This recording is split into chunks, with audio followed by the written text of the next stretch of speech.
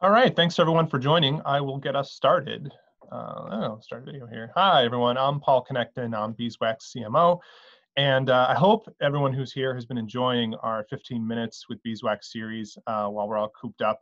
Hope everybody's safe, everybody's healthy. Uh, we thought this was a way that we could start to share some of the knowledge that we have about all things ad tech, about all things beeswax, sometimes things not so ad tech. Uh, last week we had uh, how, to, how to make a killer cocktail in 15 minutes. The videos for all these should be on our YouTube page or go to our blog, uh, blog.beeswax.com. You can, you can access the videos from these, the presentations, and just watch them all night long. You can binge them if you want to. Um, so today uh, where we have a, a really interesting one. Uh, it's called MetaMarkets Overview. And for today's session, uh, we've invited our, our own Beeswax product manager, Tyler Daelemans uh, who's an expert in all things metamarkets and beeswax. So without any further ado, I will turn it over to him. Please do uh, submit your, your questions with the Q&A button on the bottom. Uh, we prioritize those folks who'd like to ask their question on camera. So if you do, do use the raise hand function and then you'll be able to appear and ask your question, have a dialogue. Uh, but other than, if you don't feel like that, you can just uh, use the Q&A feature.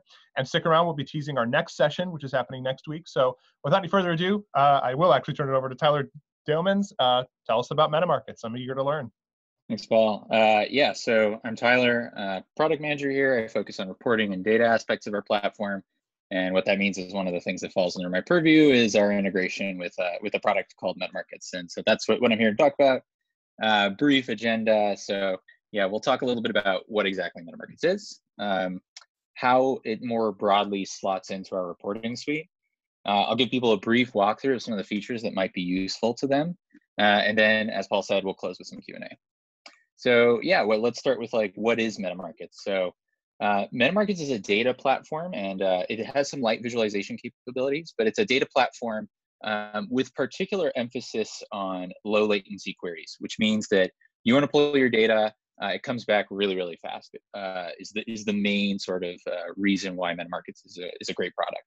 Um, and MetaMarkets has seen particular success in the ad tech ecosystem. So um, obviously we're a user of it, but there's definitely other ad tech companies that use it as well for both internal and external reporting.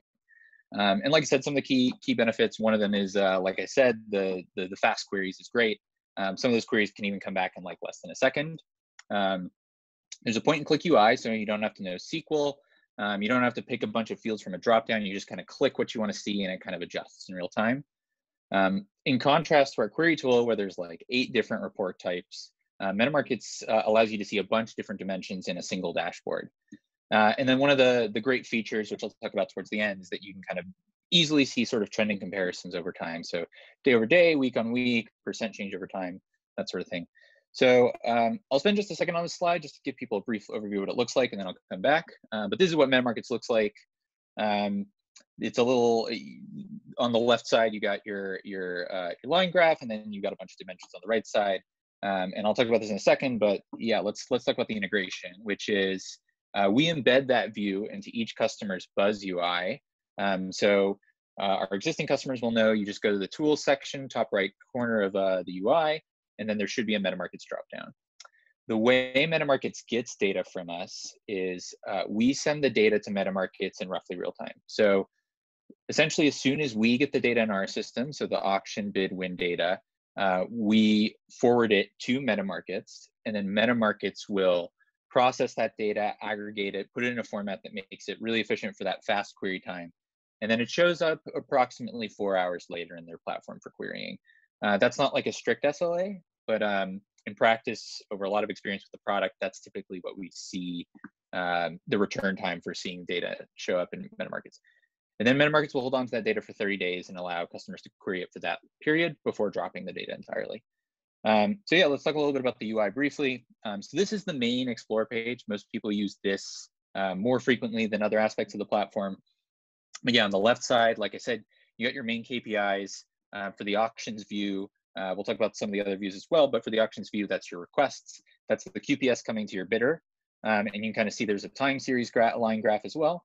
And then on the right side, uh, which is what is really making MetaMarkets powerful, is you can kind of click and select a bunch of different dimensions and filter and quickly see how fast those results return. So in this case, you know, I've pulled a few different dimensions, deal ID, device type, and DMA. And uh, just clicking through, you can quickly see as I adjust those, the counts uh, adjust accordingly. Um, yeah, so what data is available in MetaMarkets?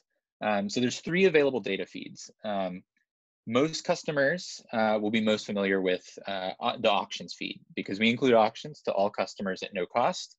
Um, and the way the auctions feed works is we take a 1% sample of the QPS going to your bidder, and then we forward it to MetaMarkets, and then MetaMarkets will upsample it back to 100%. Um, once there, um, what most customers use it for is the ability to just kind of slice and dice their QPS and see the available inventory that's coming to their bidder and determine, uh, you know, I want to traffic this campaign. Um, I want to target these particular criteria. Uh, do I have the scale to do that right now? Um, so that's like the, the major uh, use case of the auctions feed. Then we have two offerings which we call advanced meta markets, and that's the bids and wins report and also reach. And so bids and wins is what it sounds like. There's a bunch of bids and win data, but we also surface like media spend as well. Um, and um, some customers find this really useful for troubleshooting purposes. So they want to go in, they want to see um, what sort of inventory am I bidding on? Where am I losing more frequently than I'm winning? Um, people find it really useful for troubleshooting specific line items or seeing, you know, week over week changes and like how their winning patterns are. The offering for this, uh, it, it's it's an upsell and it scales with QPS. So if you're interested in it, talk to your account manager, your sales rep, uh, whoever you're talk uh, talks with at the Beeswax side.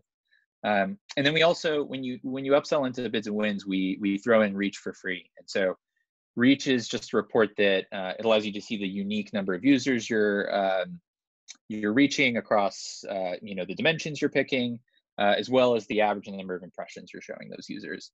Um, and Reach has you know a lot more limited dimensions than some of the other reports. Uh, so question might be like, how does this fit more broadly into the reporting suite, especially for anyone who's not a beeswax customer on the call? So um, MetaMarkets effectively makes up the third pillar of our reporting suite. So refresher for some people, but I'll talk through the, the pillars, so to speak. Um, so the main system we, we have is our query tool. And this is a system that, um, you know, you log into our platform, there's a UI. Um, there's also a robust API if you want to send that data to a server but you can make ad hoc queries to our data warehouse. They come back usually within a couple seconds, but sometimes a little longer, um, and you get some aggregated reports back. Um, we treat this as the source of truth for everything in beeswax, and the data is typically available within one hour of it um, of the event occurring. Um, but an important caveat is the query tool only has bids, wins, and conversions data. Um, in contrast to that, we have logs. Logs are uh, row level insights. So if you want insight into things like you know, IP addresses and specific user IDs, things that only really make sense on a single row level. Um, logs are great for that.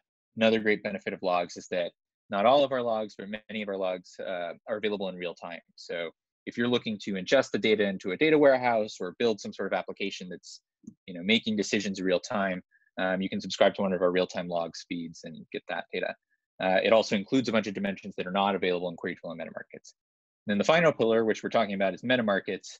Um, and it's kind of unique insofar as it's the only way to get auctions and reach data in a UI format in our platform today. Um, like I said, most customers are using it for avails analysis, and that's a really important um, uh, thing for ad ops traders to be working with on a day-to-day basis. And um, in, in, particular, it, it fits into a very specific role, which is it's really good for answering quick questions and quick exploration of data. Uh, if you want to just kind of click around, explore the, the QPS that's coming to your bidder or uh, your bid performance and win performance across a bunch of line items, you can kind of click around and just see what that's like rather than, you know, pull one report from Query Tool and then wait for another report to pull. Um, MetaMarkets is really like adept at doing that sort of task.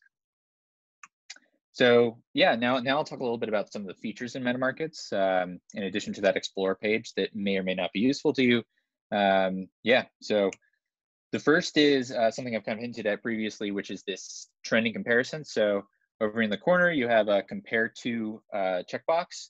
And so what you can do is you pick your base time period, but then you pick a comparison time period. So in this case, I've picked um, the previous week and then the week before that. And um, you can kind of see how uh, all these dimensions are sort of trending over time. So in this case, it looks like the QPS coming to this bidder almost everything across the board decreased. So we probably removed a bunch of targeting templates.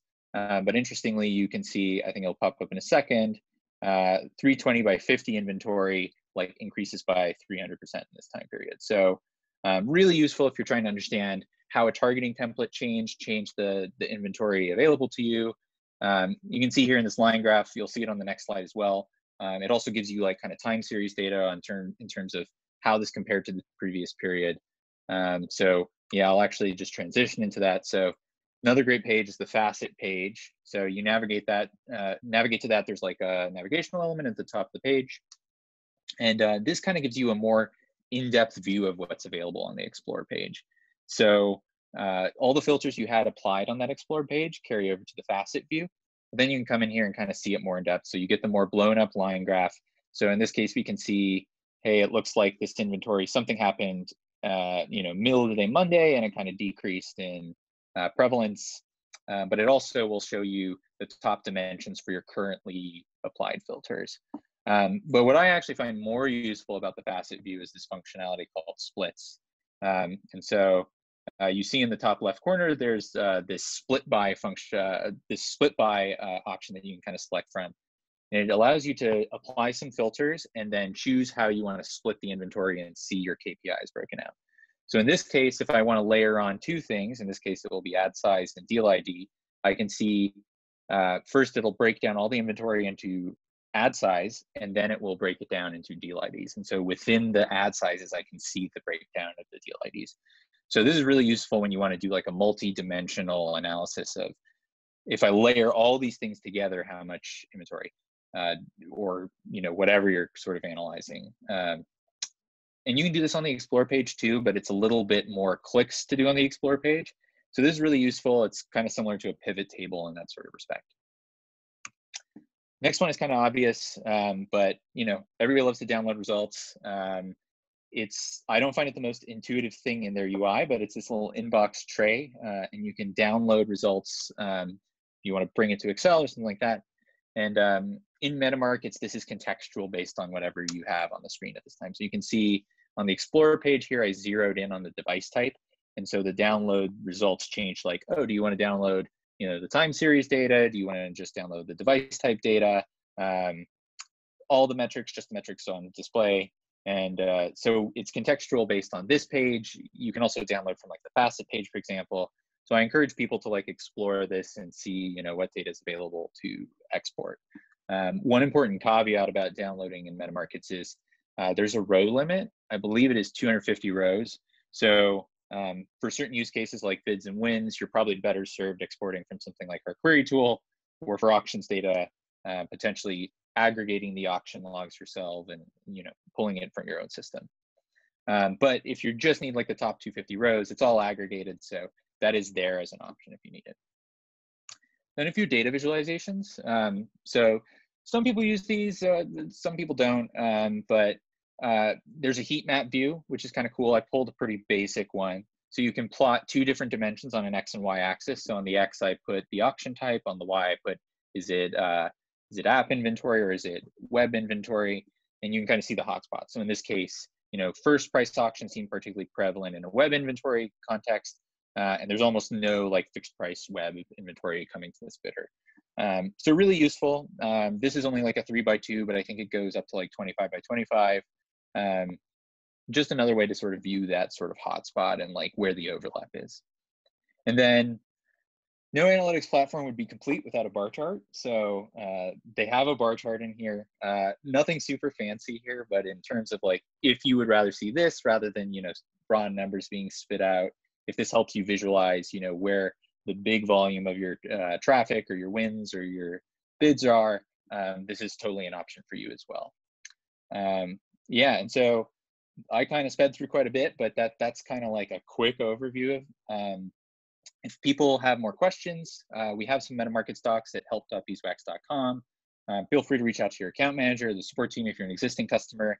But otherwise, uh, my email's there if other people want to reach out to me. Um, and yeah, otherwise, I'll, I'll turn it over to Paul uh, for Q&A. Thank you, Tyler. That was awesome. Uh, and we do have a couple questions, so do stick Okay. around. So, Sure. uh, first question, uh, you might have already covered this, uh, but for, for long tail websites, is there a way to query if a given website that appears from the outside to be connected to SSPs has actually sold traffic recently? That's helpful for building a whitelist of oddball sites, for oddball sites, sorry. Um, so I'd have to look into that. Um, it would be great if you feel free to email me and I can kind of dig into that. That might be something I might have to look into a little bit more deeply. Oh, okay, and we, we have the name of the person who submitted it, I just don't need to read it. Uh, Great. I don't know if, they, if we have the, the uh, their go ahead to say their name, so I can just pass that along to you. and You can follow up directly. Uh, Sure, another question: uh, The traders on my team are forever troubleshooting PMPs. How would they use MetaMarket's tool for this? So uh, it, really depends on what type of troubleshooting you're looking for. Like you're trying to find out whether you're bidding or winning, um, or what. Like if if you think like, oh, it doesn't seem like I'm winning any deals, you could definitely come in here, target the deal IDs that you're trying to bid against, and then see, uh, you know, am I bidding actually? Like um, maybe you could come in and see like, oh, actually, like I'm not. Uh, you could target a specific deal ID. You could see, oh, it looks like all the deal IDs are uh, there's actually no deal IDs uh, when you overlap with the inventory in my bidder, for example, right? So like you're targeting a specific PMP, but maybe you're not getting enough of the auctions to your bidder that you're trying to target, for example. So it kind of really depends on like what you're trying to troubleshoot. Um, but definitely like I would encourage like kind of um, target like whatever KPI you're kind of looking for, whether that's like I'm not bidding, I'm not winning. Um, and then like kind of break it down by dimensions and try and determine like, am I targeting the right things?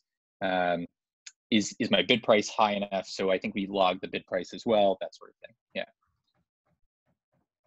All right, all right. Well, thank you very much, and I want to turn it over actually to our next 15 minutes with Beeswax star, Katie Jones, uh, who who is uh, joining us from London, and she's going to be hosting uh, a session called 15 Minutes with Beeswax: Programmatic Pricing Penalizes Premium. Say that five times fast, uh, and that's going to be on April 21st at 12 p.m. Um, what is that? Uh, 5 p.m. London time, Katie. You're muted. Hold on, let's unmute you. Sorry, it's Yes. my fault. Uh, 5 p.m. in London, uh, 6 p.m. through uh, through the rest of Europe. Okay, so tell us a little bit about what folks might want might learn uh, on programmatic pricing penalizes premium. well, apart from how to pronounce the tongue the tongue twister title, um, it's really focusing on on three main points. Um, firstly, sort of why you should care about the platform pricing model, like why does it matter? Um, secondly, sort of what types of advertisers are most impacted by by lack of sort of fair pricing process? And how also it impacts publishers because there's an impact on on both elements. And then um, thirdly finally um, what are the sort of alternatives uh, to that established percentage of media pricing model? Um, and what you might be able to, to challenge your, your partners on whether you are working on the buy side or on the sell side of, of this industry All right, thank you, and thank you all, all of you for joining us again. I hope you all stay safe and healthy and are practicing good social distancing. We will keep streaming you from all parts of the globe, uh, insights and and things you can use about ad tech, about beeswax, about our partners, and about just getting through this in general. So thank you everyone, and I sent you all a registration link for Katie's 15 minutes with beeswax next week. Have a great day.